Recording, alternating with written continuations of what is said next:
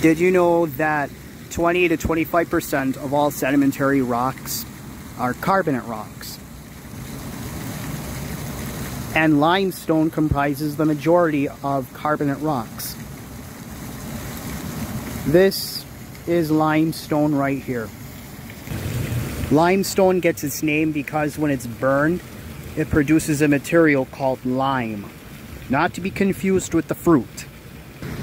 Limestone is often considered an organic sedimentary rock because of what it's made of.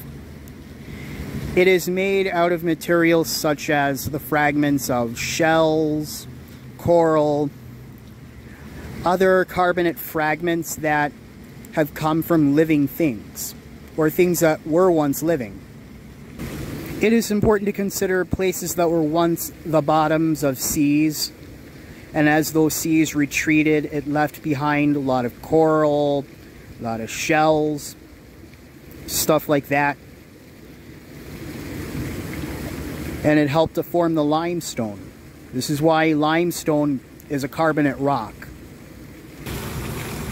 Limestone is somewhat soluble in rainwater. Because of its solubility, a lot of karst landscapes are formed.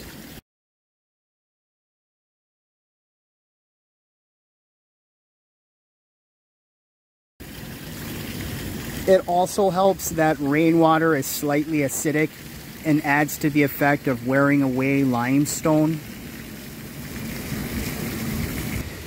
About 15% of the Earth's crust consists of limestone. Limestone is a major component of the Earth's crust. It is a major component of the Earth itself. There are things to be said about how limestone forms, how it erodes, and how it's important to local geography in many places. If you like this video, check out other videos on this channel, and as always, be sure to leave a comment, like, and subscribe.